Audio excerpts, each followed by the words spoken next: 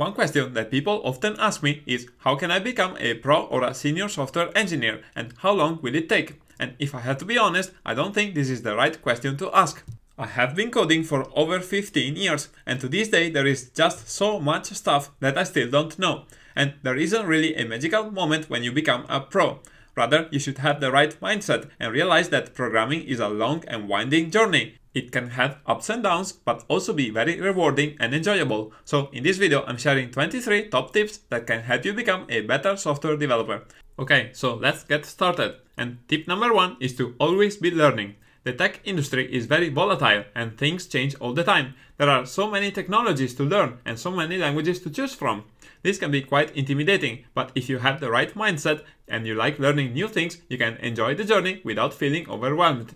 And of course, everyone learns differently, so find the method that works best for you and get good at it. Tip number two is to pick one language and stick to it. If you try to learn too many things at once, you are more likely to lose your motivation and give up. So forget about the endless stream of articles and people telling you that you need to learn this new language or that new library. Instead, pick just one that you are excited about, start with the basics and stick with it until you're comfortable with it. As you get started, it may be a good idea to read the documentation and follow some tutorials to get a basic grasp of the language. But after that, there's no better way to learn a language than to build something with it. And only after you have a good understanding of the fundamentals, consider learning a new language to broaden your skills. Tip number three is to build something. Maybe there's an app or a website that you wanted to build for a long time. Make this a side project. If you can, set aside some time to work on it every day. Maybe you'll feel that you're not accomplishing much on any given day, but Rome wasn't built in a day. After a few weeks or months, you'll see your product coming to life, and this is extremely satisfying. Choose a project that challenges you, but is not too far above your skill level. And as you build your confidence, you can always go bigger and tackle more complex projects. In fact, you only improve when you keep challenging yourself, so keep building new and different things. Tip number 4 is to break out of tutorial hell. If you're just starting to learn, it's very easy to fall in a trap where you do tutorial after tutorial after tutorial.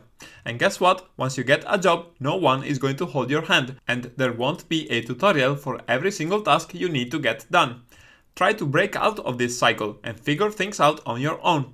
By solving problems yourself, your learning will improve considerably and you'll have a more concrete understanding of how things work. Tip number 5 is to read the documentation. This is the single best way of breaking out of tutorial hell. And the good news is that documentation is often just one click away, and you can easily see the documentation for your language or libraries that you're using right from your IDE. And to be fair, not all documentation is created equal, and some languages have it better than others, but knowing how to read it and use it means that you no longer have to rely on tutorials. Step number 6 is to learn how to debug. Coding is great, but it can also be a frustrating experience. It's hard to know upfront every scenario or state that your code can be in. Sometimes things don't work and you'll find yourself stuck for hours without making progress. So what can you do when that happens? If you're getting some errors on the console, make sure to read them carefully as they might contain the information you need in order to solve your problem. And also, try to become familiar with the debugging tools in your code editor.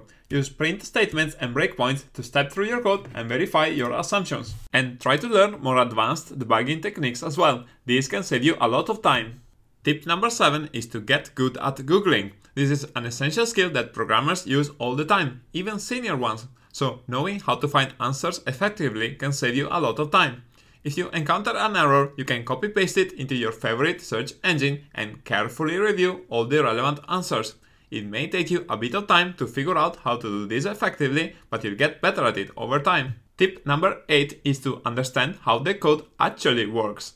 We've all been there. We found some code on Stack Overflow and added it to our project hoping it might work. Don't just stop there. Take the time to understand how the code actually works. Make sure that it works under all possible cases and adjust it to fit your project style and conventions. As a word of caution, code that you find on Stack Overflow and other forums gets quickly out of date, so when possible, refer to the official documentation instead. Tip number 9 is to reach out if you need help. If you can't find the answer you need, don't let that discourage you. You can always post a new question on Stack Overflow. When you do this, choose a good title and try to give enough context so that others can help you.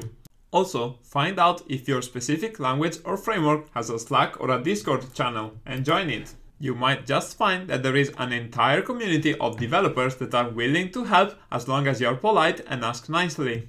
Tip number 10 is to learn how to write tests. This will make you a better developer and force you to think about all possible edge cases in your code, not just the happy part. It will also teach you how to write testable code and learn about important concepts like dependency injection. When you choose which tests to write, ask yourself what will be the impact if this feature didn't work. Then prioritize writing tests by impact. So have good test coverage for business critical code and try to automate as many tests as possible. Tip number 11. Learn Git and how to use the terminal. No matter what area of programming you're in, you'll need at least some basic knowledge of Git and the command line, because you'll be using these tools day in and day out. Try to learn about the more advanced features of Git as well. This will be very helpful when you work on projects with multiple collaborators. Also, become familiar with continuous integration systems and how to set them up. Tip number 12 is to create value for your users and the business. The reason that you're coding is that you're trying to solve a real, tangible problem that your users or customers have. So always try to focus on the users and business needs and have the big picture in mind. That way you're more likely to add value to the product. One mistake that I often see other developers make is to get stuck on one problem and go deeper and deeper into the rabbit hole that is not a very effective use of time. So the next time this happens to you, set a time limit. Once the time is up, stop and take a break. Maybe the solution will come to you later in the shower.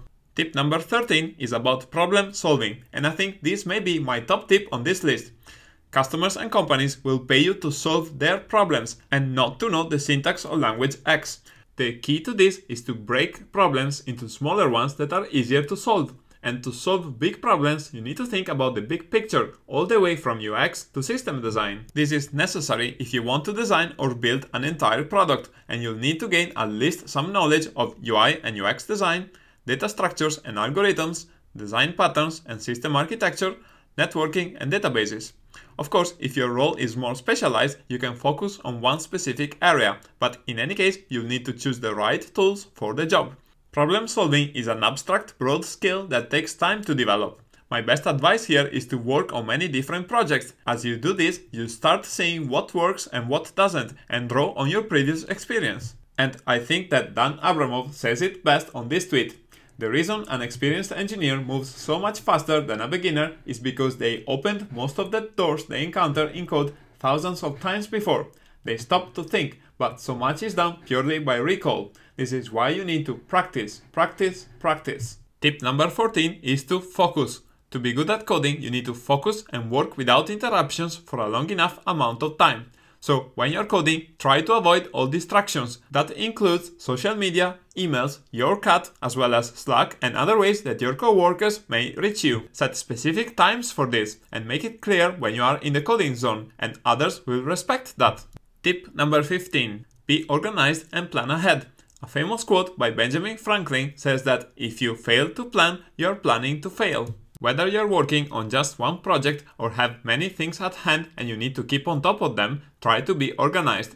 One of my habits is to keep a daily to-do list of all the things that I plan to do. And I find it very satisfying to tick off all the tasks at the end of the day. And beyond that, I also have longer term goals and plans so that I can keep track of my progress and focus on what matters. To organize all my work, I use this tool called Notion, which has become my favorite productivity tool. And I'm not saying this to sponsor them, I just really like it. Tip number 16 is to learn how to read other people's code. Chances are that throughout your career you'll spend more time reading code than writing it. So getting good at reading code will help you to understand many different code bases. And where can you do this? You can read the documentation and source code for libraries or frameworks that you already use. Also, check out some open source projects. There are entire lists of free open source projects on GitHub. Once you find a good project, check out the code and open it in your editor, and then try to run it and understand how it works. And if you work in a team, do code reviews. As you do this, try to think about how the code could be improved. Doing this will make you more aware about style and conventions so that you can improve the way you write your code. Your future self will thank you for this. Tip number 17 is to get involved in open source. By contributing to existing open source projects, you can improve your code reading skills and get valuable feedback on your own code. To get started, you can join the GitHub open source community, which contains a lot of useful resources. By writing open source code, you can stop reinventing the wheel and carry over your best code across projects. And if your project is useful enough, it can have a big impact. Doing this is also great for your CV. A good GitHub profile shows tangible proof of your skills and coding style and increases your chances of getting a job. On a personal note, thanks to my GitHub profile, I've been able to stand out in job interviews and negotiate great offers time and again. Tip number 18 is to stay up to date with articles, videos, and courses. You don't need to read every single article and watch every YouTube video out there. And as I said before, you shouldn't be following tutorials only. Trying things out on your own is more important but you should try to find the right resources to fast track your learning so that you don't have to figure out everything by yourself. Try to find a list of experts who regularly share quality content and subscribe to their feeds. This is a great way to stay up to date and learn about new things. Tip 19 is to learn basic design. You don't need to become a professional designer, but you should understand the basic principles of design and become familiar with at least one design tool. This is valuable so that you can make your own work look good, especially if potential employers or clients will see this. But it also expands your sphere of knowledge and helps you think about problems in terms of UX and not just code. Tip number 20 is to learn how to communicate. This one is super important. I don't think you can be a great developer if you can't communicate well you should be able to explain things in plain English even if it's not your first language, so that non-technical people in your team can understand you. Beyond that, always communicate clearly what you're working on, what problems you're facing, and make sure you do what you say you'll do. If you work remotely, take 5 minutes every day to share your updates. I always do this, and my clients really appreciate it. All this builds trust being reliable and trustworthy can be your single best asset and is absolutely critical if you are a freelancer. Tip number 21 is to do your best work. Your work is your brand. Your brand is what sets you apart. So always aim to deliver the best work you can. If you can impress the people you work with, they are more likely to recommend you when you're looking for a new job. And when you publish your own work, whether it's a GitHub project, your portfolio, an article, or YouTube video, that is for everyone to see. So make it look great. Tip number 22 is to share your knowledge. When you learn something useful, blog about it. Explaining things in writing can improve your knowledge on a certain topic. Practice making your writing more clear and concise. This is a valuable skill in itself, especially if you work remotely. Keep writing and you'll build a trove of knowledge that you can share with others and come back to when you need. It will also boost your profile and CV and help you engage with your community. Finally, my last tip is to take care of yourself. Life is short and things can go wrong faster than you might think. So drink plenty of water, do exercise, eat and sleep well. Don't work too much. Look after yourself and others close to you. Okay, so this completes my list of top 23 tips. And we have covered a lot of stuff, so if this all feels a bit overwhelming, don't worry. Take things step by step. As long as you are learning and continuing to grow, then you are on the right track. And if you're still not sure where to start, you can check out this developers roadmap website. This includes learning roadmaps for front-end, back-end developers and more. And each roadmap contains very detailed information about topics that you should be aware of. But like I said before, you don't need to learn all of this at once. By the way, if you want to learn about app development in Flutter using best practices, you are already in the right place. My channel contains a lot of videos about Flutter state management, architecture, building layouts, as well as the fundamentals of the Dart language.